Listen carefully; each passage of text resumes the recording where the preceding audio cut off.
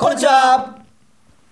日本のマスコミではあまり報道されていないだけど知っておくべき世界のニュースを分かりやすく解説するコーナーニュースチューブです。お。世界の経済や株価や FX に影響を与えそうなニュースまた世界の平和を脅かすようなニュースの表話とたまに裏話もお届けします。はい日本にいるとですねなかなかもうインフレ来てるっていうふうにわからないうん実感が湧かないかもしれませんが世界ではもうインフレがね起こりまくってます。今日はそのあ今回はそのお話をしていきたいと思いますまあちょっとね食料品上がったりガソリン代上がってるぐらいですけど、うん。もっともっとすごいことが世界で起こってる起こってるんですよ。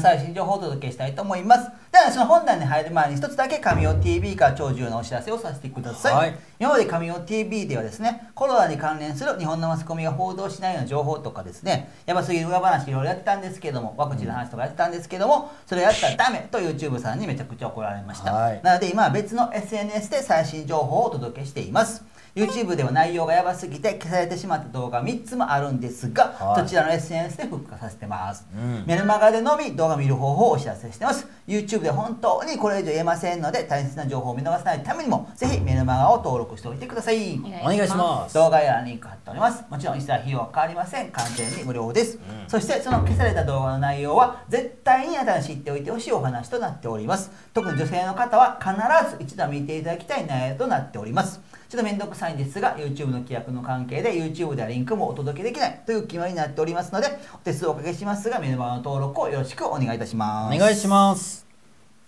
今アメリカでね、うん。ツイッターでこんなのがトレンド入りしました。ほはい。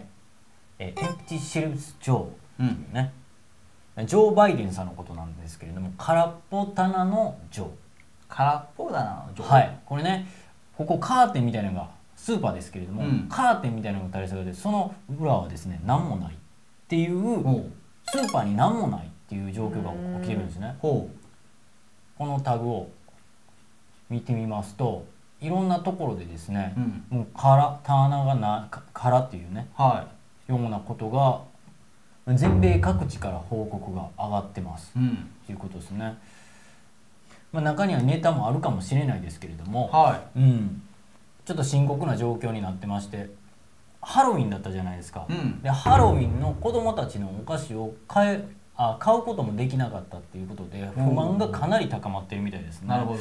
で、まあ、インフレとは関係ないんですけれどもバイデンさんのですねこう人気下がって、うん。えトランプさんの人気がですねちょっと陰ってたんですけれども、ん。夏終わりぐらいから。またバイデンさんがこんなんなってるんであトランプさんが逆に上がってる人気が上がってきたっていうのがありますね、うん。まあ、それは置いといて、まあ、買い物客の不満がツイッターでこういうふうに爆発してるとはいうふうになっております。でですね実際データとしてね車肉などなどこれねめちゃめちゃ上がってるんですよ。中古車は24%、はい。まあ、25%、まあ、4, あ4分の1ぐらい上がってますよね、うん。でステーキ牛肉の価格は20%以上上がってる。でベーコンも20%ぐらい上がってる、うん。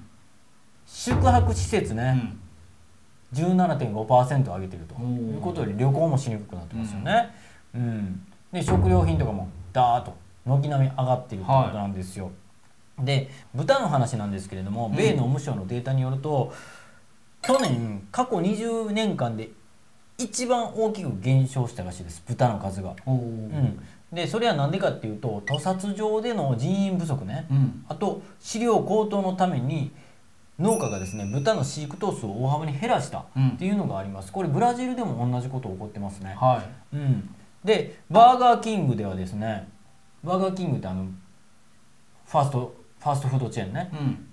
ソーリーノーフレンチフライズっていうことでえポテトないって言ってるんですよ、へうん。もうどのセットにもポテトはつきませんって書いてあるらしいです、これアメリカ中でね言ってます。まあこれやったらこの記事がそう言ってるだけなんでもう本当にバーガーキングがアメリカ中でポテトつけてないかどうかちょっと確認できてないんですけれども、でもポテトがないことはそういう情報として上がってきてますね。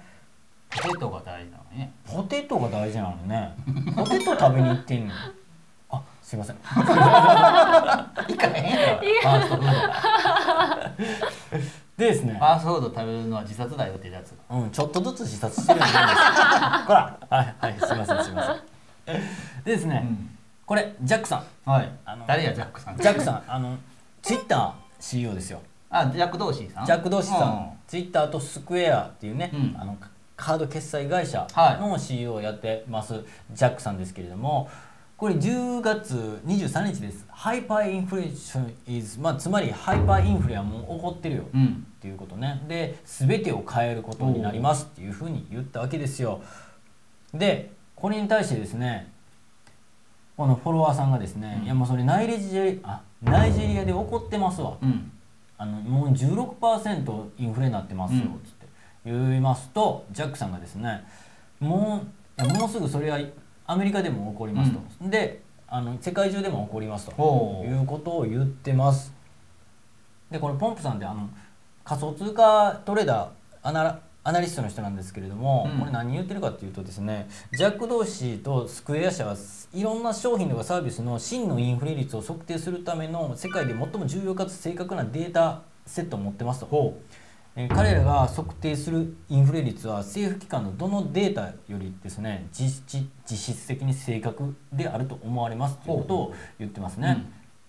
まあなんでかというと政府が発表する数字っていうのはもう一般大衆をちょっとはぐらかすためというか、うん。そういうふうにお化粧されたデータが出ますけれどもインフレ率とか特にね、そうそのデータ信用してたらダメじゃないですか。スクエア社とかは、うん。そのこっちの国めっちゃインフレになってんのに為替は動いてないのにみたいな状況があったとしてじゃあインフレ率を正確に把握しないとダメですよねっていうことですよね。うんだから、まあ、クレジットカードの決済会社やってるのでももっともっと正確な情報を知ってるんじゃないかうんということですね。なのでまあね誰がどこで何をいくらで買ったかっていう情報があるわけですからそうですね。うん、ということで、まあ、この2つのことから言うとですねかなりインフレっていうのは進んできてるんじゃないかとうん。いうことですね。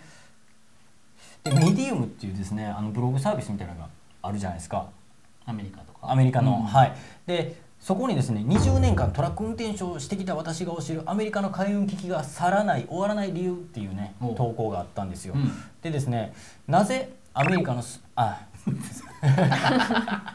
急に発音よくパプリカみたいな。アメリカアメリカえーこれ書き出しがですね、うん。なぜアメリカのす使われるぞ。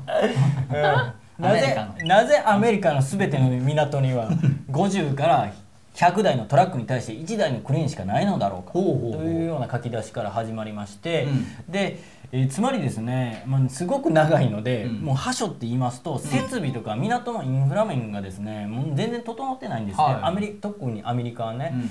で、えーあと、えードライバーの給与は社会保障などの面でもう、うん、ダメダメだと。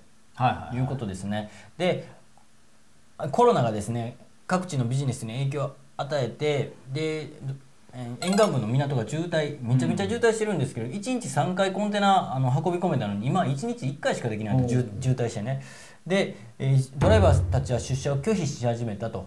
で、うん。ドライバーの給料はその積み下ろしできなくなったら給料減るんですって。あうん。で3分の2になってしまって、うん。えーほとんどのドライバーが12時間以上働いていると。あはい。で運送会社はパンデミックでお金もらってたけどそれがドライバーに回ってくることはなかったということで、多くのドライバーが辞めていきましたというようなあ記事だったんですね、はうん、つまり、まあ、給与とかがひどいということで、えー労働者がですね戻らない。んなので海運の費用が上がっていって、はいはい。もう遅れて上がっていく。つまりですね需要はあるけど供給がないような状態になってしまって、海運運賃が上がってしまっているということですね。で今ですねまあ、10月なんですけれどもこれは船会社のスケジュールとかを分析しているような会社がありましてそこがですねロサンゼルスの沖合にね輸入貨物を満載したコンテナ船がですね60隻以上待っていると。これ10月時点なんでちょっと今わからないんですけれども、あこれアメリカの話。アメリカはロサンゼルスだけの話です、うん。うんでコンテナ船って言ったらどんぐらい乗っけてるかわかんないですけれども、まあ、結構乗っけてますよね。でっかい船で箱がいっぱいある。そうそうそう。60隻も沖合で順番待ちして停泊しているということです。これがですねあの中国中国は上海の沖合ではですね、うん。その2倍以上あの150隻以上の船が停泊しているということです、だからアメリカから行った船がうん。こうい待ってるわけですよね。下ろしたいけど港は間に合わへん。そうそうそう。っていうことで、うん。これに伴ってですねえ物流コストが上昇しちゃってると、うん。うん。中国からアメリカの西海岸へのこの標準的なコンテナなんですけれどもこの中央値がですね過去最高の2万500ドルを超えてまして7月の2倍以上になっているはということですよ。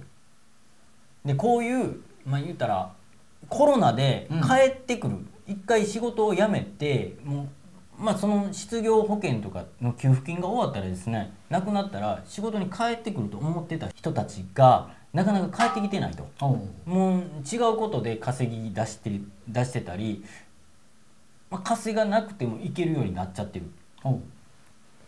ということがありましてみんなロビンフッターになっちゃったいやそういう面はあるんですよ。投資家になってしまった。投資家になってるっていうのはあるんですよね、そこで収益を上げてしまってると、うん。うん、なんずっと続くとは思わないんですけれども、まあでもね今ニューヨークダウずっと基本上がってるからそうそう。素人でも勝てますからうね、ん、だからうん短期的にですねその人が帰ってこない労働市場に帰ってこないっていうことがありまして、だからインフレになってしまってると、うん。給与も出します雇いますっていうことは企業も言ってるんですけれども、うん。その人が集まらないんですよね。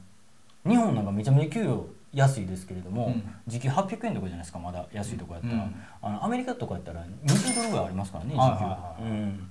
っていうのでそんな時給でも帰ってこないうん。らしいですわ。イギリスもなんかロトラック運転手足りひんからビザ出してい移民をね。移民だ移民にもとね集めてますけど、うん。そんなんが起こってるわけですね。そうです。世界中で起こってるということですね。うん。インフレも起こってるけど働き手もいないと、いない。うん。という不思議な状況になっているはい。ということですはい。ということで日本ではですねなかなか影響を感じにくいので、うん。まだ。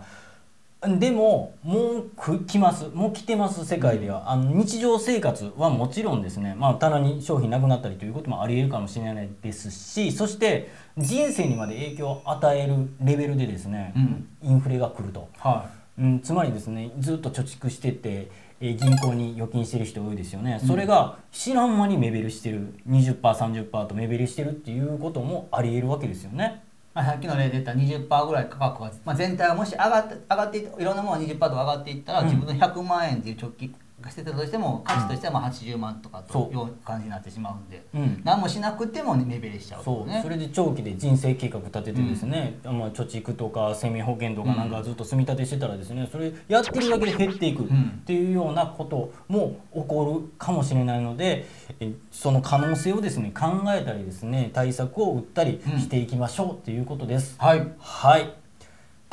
ちなみになんですけどジャックさんはさっきのツイートの中で、いやこのままや減っていくじゃないですか。ジャックさんどうしたらいいんですか、うん。っていうことを言う聞く人もいたんですよね、まあ、その答えはジャックさんはあの返事はしてないんですけれどもほもうすでにプロフィールに書かれていると。どういうことですか、これですよね。というねただのビットコイン推しの僕が言うだ言うのでちょっと信憑性ないかもしれませんけれども、うん。こういうことじゃないの？って思います僕は。それはないいやいやまあそれはもう信じるか信じないかあなた次第ですね。対策の一つとして入れていくのは僕はありやと思うんですけどね。はい。うんうんうんうん。まあごめんね。あのゼロになったらごめんね。ということで今回は以上とさせていただきます。はいということでねまだまだ日本ではそそこんなアメリカとかみたいに切羽詰まってのインフレってなかなか感じないですけど、うん。間もなくというかもう必ず来ますんでそうです皆ねさんがおっしゃるような対策っていうのを皆さんもしていっていただければと思います。うん冒頭で言ったようにですねコロナに関連してもこのように超やばい情報皆さんにお伝えしたいたく大切な情報たくさんあるんですけども、うん。その YouTube で言えなくなってしまいましたのでその情報をお送りさせていただくためにまだの方はぜひメルマガの方登録しておいてください。お願いします。動画やリンク貼っております、はい世界の情報をまだまだ伝えます。チャンネル登録おお願いします。すこの動画役立ってもらえた方はぜひいいねお願いします。す動画概要欄にこの動画に関する詳しい説明も書いておきますので復習の意味を込めてぜひ一度見てみてください。Twitter、Instagram などのリンクも貼ってますあと実はですね、神尾 TV はサブチャンネルもやっておりまして、うん。そちらではゆうちゃんの投資コーナーとか、このメインにはないようないろんなコーナーもやってますので、ぜひ一度チェックしてみてください。同じく動画概要欄にリンク貼ってます。はい。それでは今回も見ていただきまして、ありがとうございました。ジャック・ドーシーの息子七節の大喜利コーナー。大体同い年ぐらい。どう考えても。ジャック・ドーシーの弟七節の大喜利コーナー。帰った帰った実はツイートしてないジャック同士さんのもう一つの大切な発言を教えてください。やばすぎてツイートもできなかった発言を教えてください。お兄さんに聞いたでしょ？はい。聞きました。行きましょう。さあにジャック・ドーシーさんさやばいと思ってツイートできなかった内容とは？あ最近ですね、うん。あのーこう石を川に投げたら、うん7回跳ねたらしいです。面白くないよね。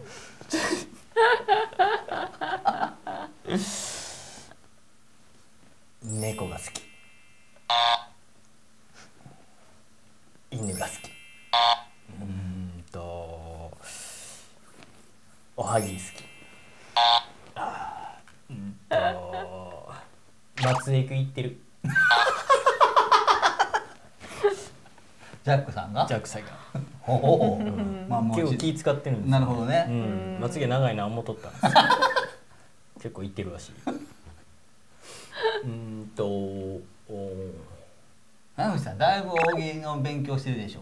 知ってる普通じゃ絶対出てこないワードが出てるもん。ななんでしょうかね。だいぶ大喜利の動画見てるな。そうなんですよね。最近見てないですよ全なんでそんな意味ない謙遜すんの。然 ほんま見てないですよもう最近自分のセンスのように言うな。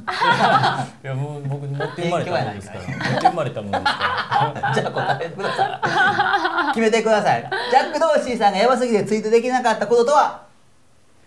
見せろセンスを七節みんな注目して聞いてください。ら最近あのなんかねあの毛根ちょっとバカになってきてるみたいであのほくろから毛生えてきてるみたいですね。長いやつすいません。なんかすいません。ごめんなさいね。ごめんなさいね。誰も得せえへんかった今。はい。とねジャック・ドーさんねジャックさんジャック兄さん。ジャック兄さんは？ジャック兄さんは、うん。あれらしいですよ。昔めっちゃでかい木に登ったらしいんですよ。うん。ジャックと髪の毛とかっておっしゃやめてね